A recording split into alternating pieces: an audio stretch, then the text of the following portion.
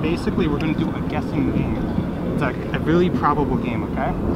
Basically, we're not gonna look, but this will be the sample. If you think this card is black, you put it here. If like, let's say, you know, I'll put another one. If you think this card is like red or black, like you won't look at it, you can put it here or here. If I think it's black, I put it there. If I think it's red, I put it Yeah.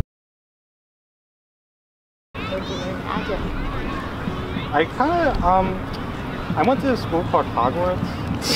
I don't know if you ever heard of it. so it would be so insane if somehow all the red cards actually match together with the red cards. And- all the black cards are together with the black cards. Wait, how? Um, this is the setup. It's a very easy trick. All the reds are in one side, all the blacks are in one side. So you got all the reds here and all the blacks here. Just remember that. That's that's really it. No special order of how to do it. All the reds one side, all the blacks the other side. Now how it works, how I usually do it, I just look through the cards and tell them we're gonna put a red here and a black here. And by doing that, I just hold a, I just push this card a tiny bit up, or I just give them half the deck, and then with that half, they just dump all the reds here, here, here, here. It doesn't matter. Some people think of it a lot, they like get really into it. Some people just like don't even care, they're just be like this. But I guess it really depends how your presentation and structure what this trick is. But anyway, what I do, since I know they're all reds, I'll look at one and say, oh wow, you got one right. Now we'll take a black one. And then again, they do it. I don't know what they're thinking while they're doing this. They're probably saying this is impossible, this and that. And there we go. Now there's only one issue. This black card right here is with the reds. That's an issue. It should be with the other black cards. So what, what I do is literally, and you could even see it in like my performance, like while I'm scooping it, I just put this on top. And I, and I don't like pay attention to too much. Because you pay attention, it looks weird. But if you're just like, okay, I'm just gonna go scoop and you're just like this and going that and you're talking to them nonchalantly, it like flies by. I've never been called out on it. I don't know. I never have. When once I get called out on it, that'll that'll be the day, you know. Um, okay, awesome. So what really what happens here is that all the reds are on one side, the blacks and reds. Now, if you, if you spread it like this with this one, you would want to spread it like that.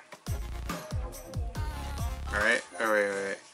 Actually, yeah, you would. Doesn't really matter. Yeah, you would spread it like that, and then you would be like, then you would go from this order with all the reds here, and all the blacks here, and you have possibly one of the most amazing tricks out there. Okay, now, okay, now let's get into like the setup, right? I got another deck here. This is in new deck order.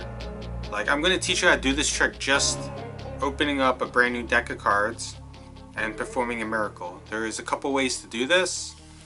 Normal, in the hands, or full shuffle. Let's see how this works.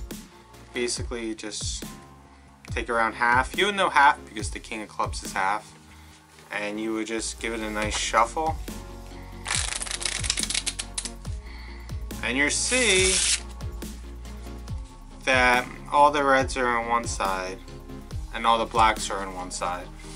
I don't know why I've never seen anyone teach it the trick like that before to anyone, but it's pretty amazing little secret is that when you just give it that in the hand shuffle, you're literally in the position to do one of the most amazing tricks.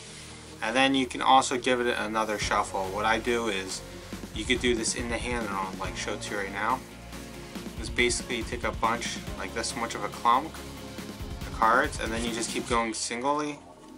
Like a few singles until you feel like you went over half. And yep, and then you could go just like that.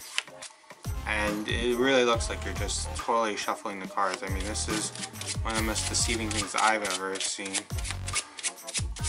And yeah, you're always back in this order, uh, and you're always ready to do this trick with a brand new shuffle deck of cards. So if you're really just new to Magic and you really want to impress someone, you can just open up a brand new deck of cards and you're in the setup of this amazing trick.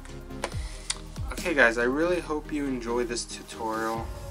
Um, it's a pretty amazing trick, to be honest with you. I think you'll love it. Thanks again guys. See ya.